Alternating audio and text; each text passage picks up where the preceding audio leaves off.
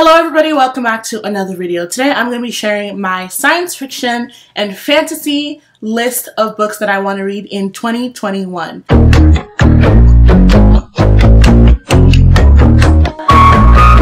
Before we get into the books, I just want to thank Book of the Month for sponsoring this video. Book of the Month is a monthly book service that promotes new and emerging authors. Every month, they curate diverse new and early releases in genres like thriller, mystery, contemporary, fantasy, and more. While the subscription is monthly, you can skip months if you do not find any titles that interest you during any given month. The first February pick that we have is The Kindest Lie. This sweeping story traces a woman's return to her struggling hometown and the hope she finds in confronting her past. Powerful and revealing, The Kindest Lie captures the heartbreaking divide between black and white communities and offers both an unflinching view of motherhood in contemporary America and the never ending quest to achieve the American dream. Next, we have Infinite Country. Lyrical and poignant, this multi generational story follows the lives of one Colombian family separated by borders. Infinite Country is a story of two countries and one mixed status family for whom every triumph is stitched with regret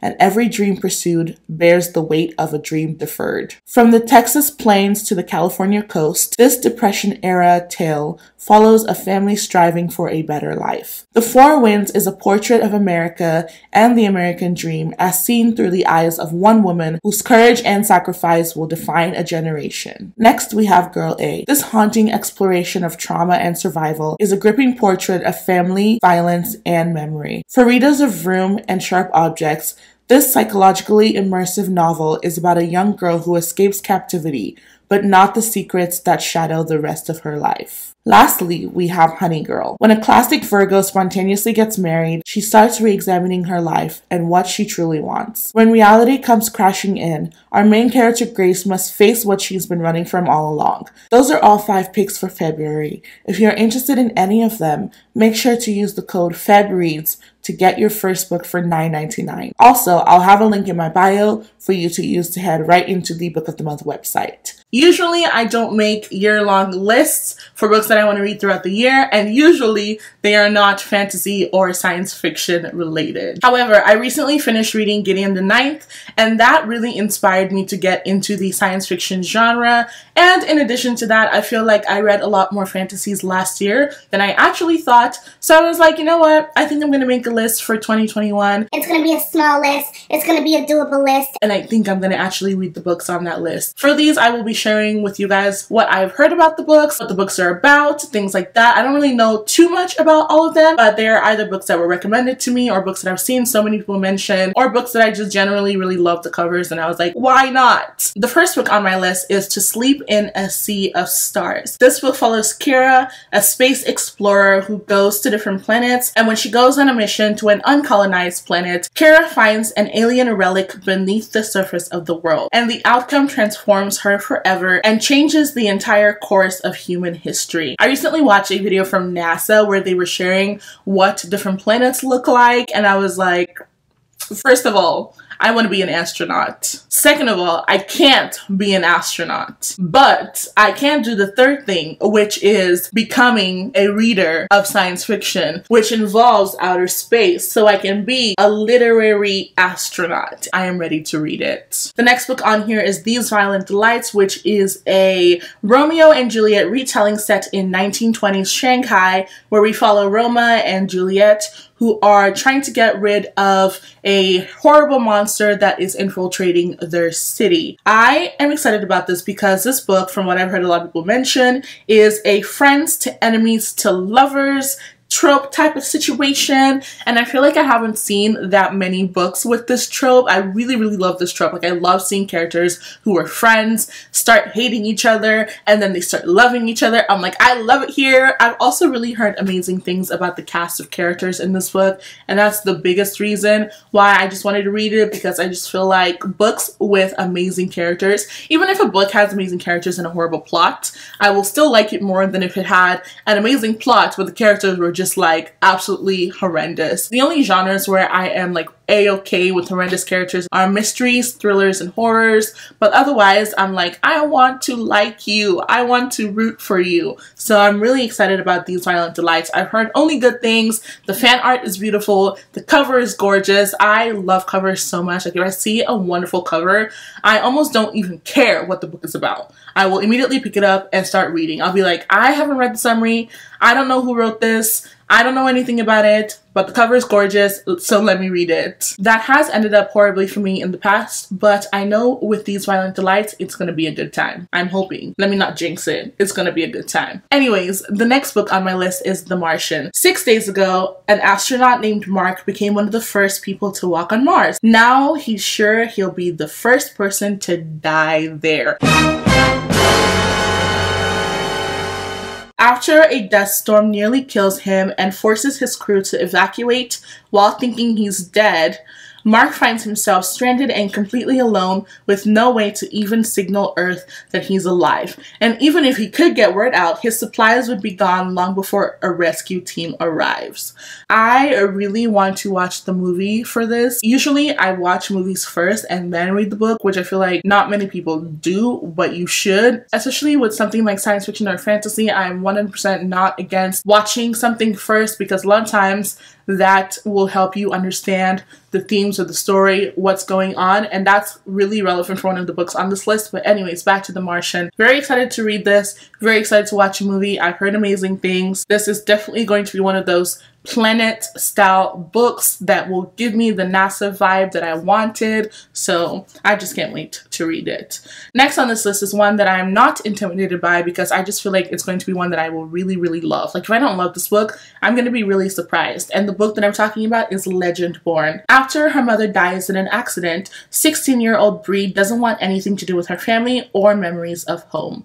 So she goes into a residential program for bright teens at UNC Chapel Hill in North Carolina, where she expects to have this perfect escape. But that's until she witnesses a magical attack on her first night on campus. So, from what I've heard about this, it's a loose King Arthur retelling. I have heard it's an amazing story. The writing is awesome. The characters are great. There's a lot of magical, dark themes in it. So, I'm excited to read this. We are essentially following Bree as she makes an effort to take down a secret evil society. I've heard amazing reviews from Alana from The Awkward Book Nerd. This is like one of her favorite books ever, and she has been convincing me for months to read it, and I'm finally going to read it this year. I cannot wait to get into this book. I just know it's going to be a good one. I don't know if it qualifies as dark academia because it's like a dark theme thing and it takes place on a college campus, but I don't know. I'm just excited to read it. The next one is one that I am kind of scared to read because I've tried reading it before and I put it down for a while and I was like, I'm going to come back to it and I didn't come back to it and the book that I'm talking about is A Red Rising. Red Rising follows Darrow, who is a Red, a member of the lowest caste in the color coded society of the future. Like his fellow Reds, he works all day believing that he and his people are making the surface of Mars livable for future generations. Although he spends his life willingly, knowing that his blood and sweat will one day result in a better world for his children, he and his kind have already been betrayed. It's a revenge themed science fiction, and someone literally described it in the review as the longest, most brutal, and complicated game of capture the flag ever played. I feel like that line alone got me.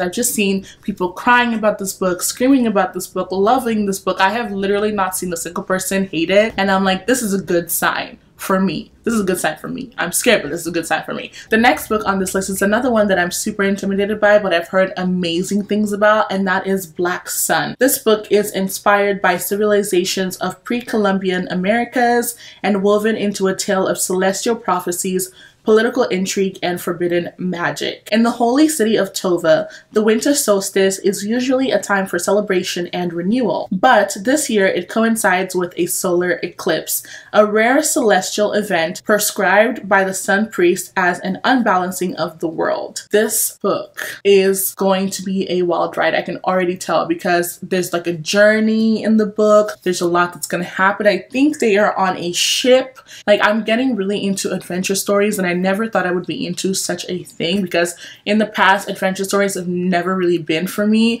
But now I'm like, you know what? That kind of slaps. So I kind of want to read that. Next on this list is actually a series. The Witcher is a series of fantasy novels and short stories centered around a witcher named Geralt. Witchers are essentially beast hunters who develop supernatural abilities at a young age and they battle wild beasts and monsters. I originally got into this because I binge watched the Witcher TV show on Netflix. People call you a monster too. Why not kill them? Because then I am what they say I am.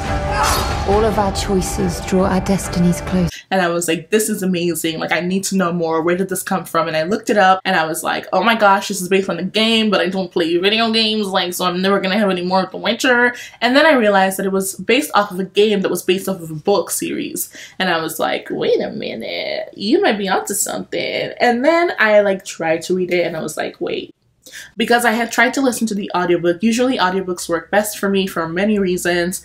And I was like, okay, let me listen to the audiobook and physically read it at the same time. And then my library hold was like, bye. And then I was like, I want to actually be able to like write notes on a post-it and put them in here. But now that I own a copy of The Last Wish, Sword of Destiny, and Blood of Elves, I know that I will be at least reading those three and I will have some more richer content. The parts of The Last Wish that I had read, I really, really, really enjoyed, and I really felt engrossed in the story. And earlier, when I was talking about reading something before watching the movie versus watching the movie or adaptation before reading, I was talking about The Witcher because I feel like one thing that really, really helped me with understanding what was going on in The Last Wish was the fact that I had already watched the TV show. So I kind of had an understanding of the concept of a Witcher, an understanding of the monsters and things that the Witcher was, you know, fighting and rounding up and things like that. I felt like I knew the story, but there was so much more in the book as one can imagine. So I was like, I know what's going on here. These things feel familiar, but at the same time, there's so many things going on that I didn't see in the TV show. So it was like an added bonus. So I will say, don't discount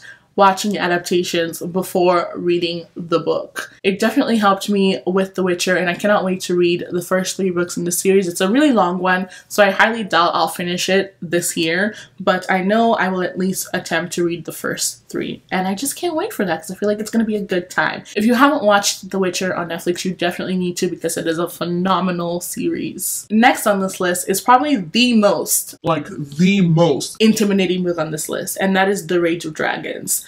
The Rage of Dragons is the first book in the Burning series. The Omehi people have been fighting an unwinnable fight for almost 200 years. Their society has been built around war and only war. The lucky ones are born gifted. One in every 2,000 women has the power to call down dragons. One in every 100 men is able to magically transform himself into a bigger, stronger, faster, killing machine. This book has revenge, it has war, it has adventure, it has tension. These are all things that I love in various different genres. I've heard from all the people who have read it that it's really easy to get into, it's really easy to read, the writing is very simple to understand, and the story is very, very captivating. So even if you are somebody who doesn't read adult fantasy, this book is going to be really easy to get into. I have had it recommended to me so many times that it is time. It's time to read it.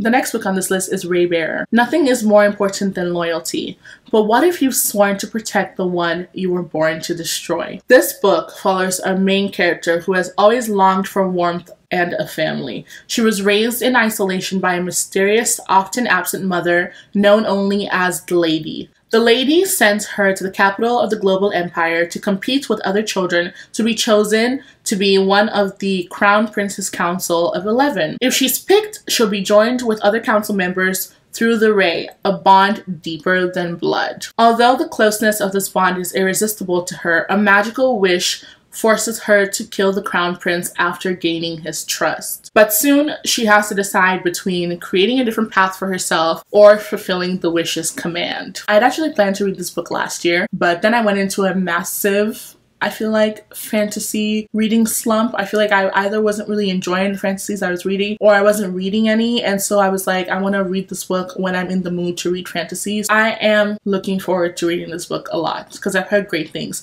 And I know the cover, the US cover, kind of gets a little bit of a Like I love all the different colors. I love the energy. I'm ready for it. The last and final book on here might be kind of surprising to a few people because if you don't know, I had read A Court of Thorns and Roses in 2019 and I really, really loved it. I think I gave it five stars. And then I read A Court of Mist and Fury in 2020, I think early 2020.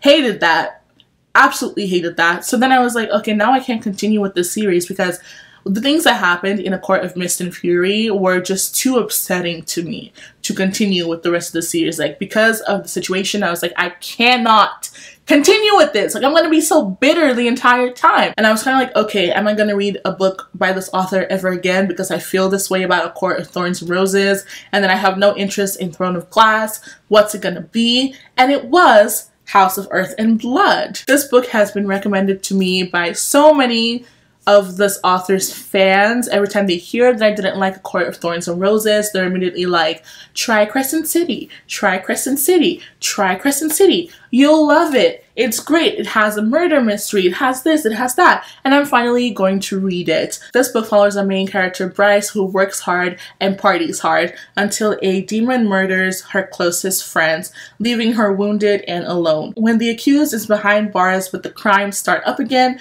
Bryce finds herself at the heart of the investigation, and she'll do whatever it takes to avenge their deaths. I'm just realizing that there are so many books on this list that are revenge focused, and I don't know if that's about to be my new 2021 trope, but I'm here for it. Like I said earlier, I've been recommended this book by so many people because it has mystery elements, it has fantasy elements, and generally, I feel like even from reading this description and what I know about the book, I do think this will be one that I enjoy. It's a really thick book, but I'm looking forward to reading it. I think it's like like 800 pages or something, but I'm really, really, really looking forward to reading it and I cannot wait. But yes, that was the final book on my 2021 fantasy and science fiction TBR, if you will. I'm very pumped to read all of these books. I feel like I genuinely will enjoy all of them. At the very least, they'll just be like good books but we'll see how it goes at the end of the year if I have read them, how the experience was, and things like that. If you've watched all of this video, go ahead and leave me a dragon emoji in the comments or just write dragon. And yeah, thank you so much for watching this video. I will see you all in the next one.